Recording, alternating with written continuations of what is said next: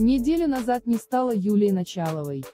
Ее родные и друзья по-прежнему не могут смириться с внезапной смертью молодой артистки.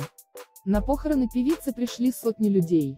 Семье пришлось несколько дней заниматься оформлением бумаг с просьбой о предоставлении бесплатного места на кладбище. После того, как документы стали достоянием общественности, выяснилось, что популярная певица носила двойную фамилию. 16 марта 2019 года скончалась широко известная и популярная певица и актриса Началова Алданина Юлия Викторовна, значилась в одном из официальных документов.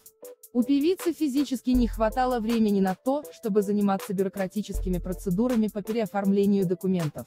К тому же, даже после развода Юлии Началовой и Евгению Алдонину удалось сохранить дружеские отношения и не утратить уважение друг к другу, поэтому в смене фамилии не было серьезной нужды.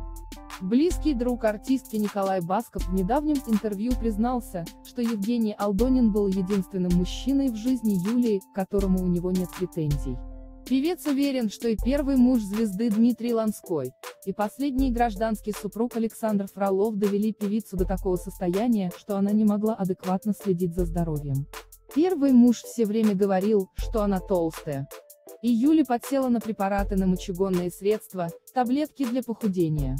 Подкосила ее и ситуация с Фроловым. Саша решил отсудить половину квартиры, которую Юля оставил Жене Алдонин. Посчитал, что он имеет на это право, потому что ее содержал, сказал певец в программе «Привет, Андрей». Напомним, что артистка попала в больницу 11 марта после того, как сильно натерла ногу.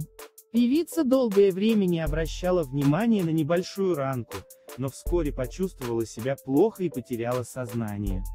Врачи ввели Началову в искусственную кому и подключили к аппарату вентиляции легких. Рядом с певицей до последнего были близкие. Они молились за то, чтобы ей стало легче. Но надежды родных не оправдались. Юлия Началова умерла 16 марта в возрасте 38 лет от заражения крови.